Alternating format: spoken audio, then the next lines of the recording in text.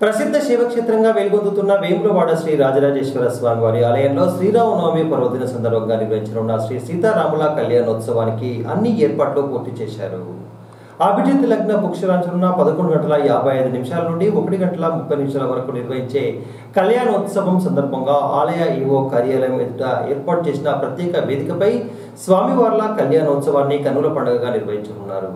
కాగా గత రెండు సంవత్సరాలుగా కోవిడ్ కారణం వల్ల కళ్యాణోత్సవానికి భక్తులు దూరంగా ఉన్న నేపథ్యంలో ఆదివారం జరిగే శ్రీరామనవమి కళ్యాణోత్సవ వేడుకలకు భక్తులు అధిక సంఖ్యలో విచ్చేయనున్న దృష్ట్యా పోలీస్ శాఖ ఆధ్వర్యంలో జిల్లా ఎస్పీ రాహుల్ రెడ్డి నేతృత్వంలో భారీ బందోబస్తు ఏర్పాట్లు కూడా చేశారు. అంతేకాకుండా ఆశేష భక్త జన వాహిని కోసం ఎక్కడికక్కడ మజ్జిగ ప్యాకెట్లు మంచినీటి ప్యాకెట్లు అంతేకాకుండా అన్నదాన కార్యక్రమాలను కూడా ఏర్పాటు చేస్తున్నట్లు ఆలయ ఈవో రామాదేవి తెలిపారు. సాయంత్రం జరిగే రథోత్సవం అనంతరం డోలోత్సవం కార్యక్రమాలతో శ్రీరామ నవమి ఉత్సవాలు ఘనంగా ముగియనున్నాయి.